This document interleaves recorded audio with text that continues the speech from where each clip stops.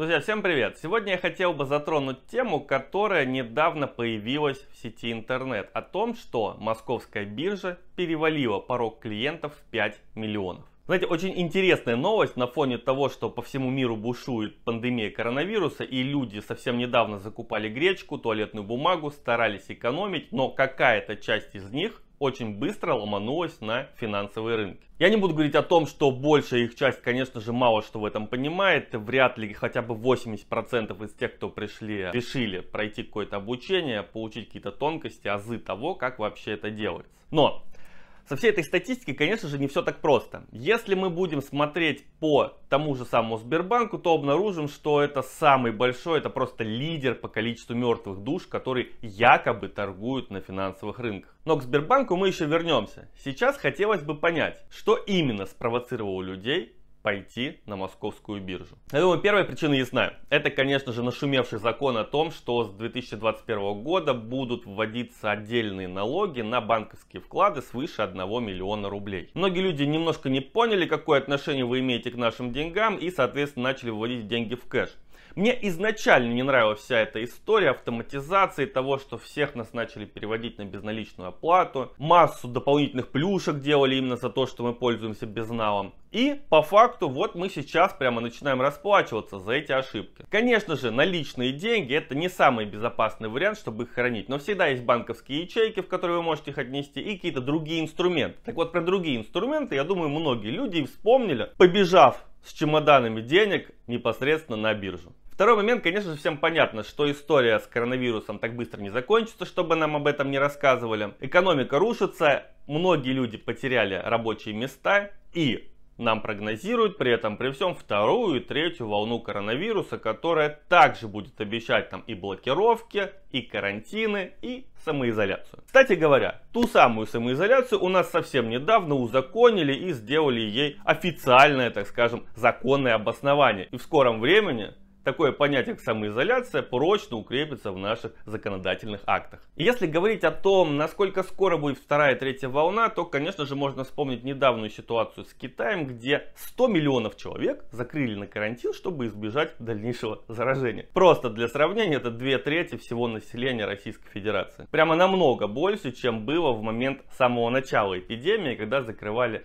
ну, такой достаточно большой, конечно, по российским меркам, но достаточно средненький по меркам Китая город Ухань. Итак, вернемся к московской бирже. Она зафиксировала отметку в 5 миллионов трейдеров. Это очень классно, очень многие люди пошли попытках заработать. Это, во-первых, говорит о том, что все-таки наше население постепенно молодеет, становится более активным в сети интернет и, соответственно, ищет какие-то новые способы сохранить и приумножить свои деньги. Это очень здорово, потому что в Америке это делают уже 100 лет и, наконец-то, это дошло и до нас. Другой момент, э, я не очень уверен в том, что действительно профессиональные люди, и я очень надеюсь, что за счет того, что они пришли не на рынок Форекс, а именно на фондовую биржу, ну, шансов потерять свои деньги у них не так много. Удивительно, да, но по сути дела на Форекс точно нельзя приходить полностью неподготовленным на фондовом рынке. В принципе, вполне возможно как-то, что-то, каким-то методами интуиции или читая новости, где-то что-то заработать. Немного, но заработать. Как я уже говорил в самом начале, мы обязательно вернемся к Сбербанку. И на самом деле все не так однозначно. Категория клиентов, которые пришли на московскую биржу, делится на три части. Первое, это, естественно, активные трейдеры, которые торговали и до этого. И это основной такой костяк того, что составляет московскую биржу.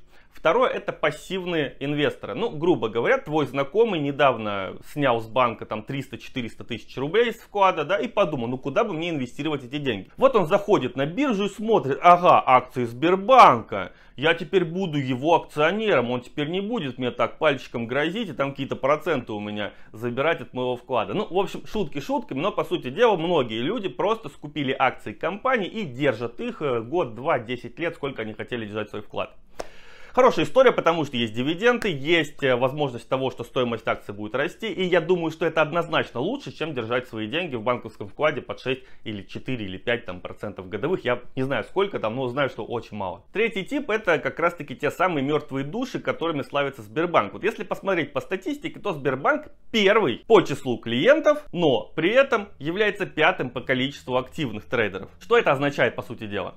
Когда вы открываете счет в Сбербанке или какие-то другие услуги, услуги берете, вам сразу же навязывают открытие брокерского счета. И вы можете им совершенно не пользоваться, но это будет часто в условиях того, чтобы получить какую-то плюшечку. По сути дела, вы даже не в курсе того, что у вас есть какой-то брокерский счет, как им пользоваться. Ну так в курсе, но буквально на бумажке где-то там поставили галочку. Вы никогда к нему не вернетесь. И по сути дела, все это делается для чего? Для того, чтобы на бумаге Сбербанк был красавчик. Вот, поэтому если исследовать из данной точки зрения, то, конечно же, особенно большого прироста, ну, вряд ли мы увидели. Просто нашлись люди, которые ранее вкладывали в банк да, под небольшой процент, сейчас они поняли, что, ну, наверное, эффективнее и надежнее в наше время вкладываться в акции компании. Не понимаю, правда, почему они выбрали именно российские, потому что, мне кажется, зарубежные компании все-таки для этого подошли побольше, с учетом того, что доллар постоянно растет по отношению к рублю, и это было бы как-то более логично с точки зрения грамотности вкладов. Но, по сути дела, конечно же, многие пришли осознанно, я не знаю, какое это число в процентном соотношении, потому что никто нам эту статистику не покажет, но если вы посмотрите статистику поисков браузере, то убедитесь, что запросы в формате «как заработать в кризис», «как заработать на акциях», «что такое московская биржа», просто безумный бум, безумный всплеск именно в формате вот этого периода, когда началась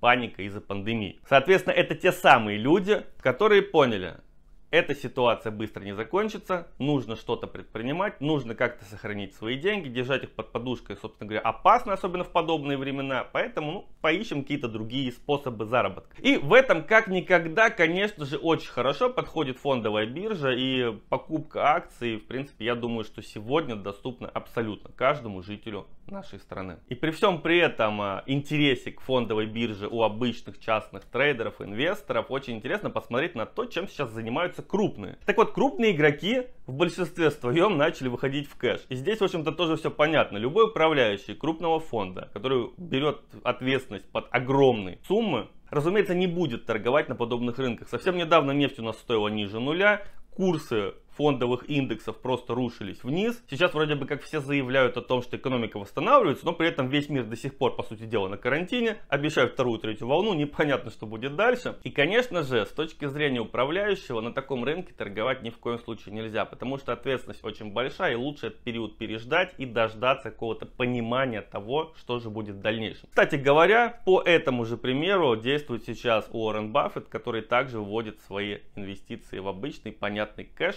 распродавая все активы, которые были накоплены ранее.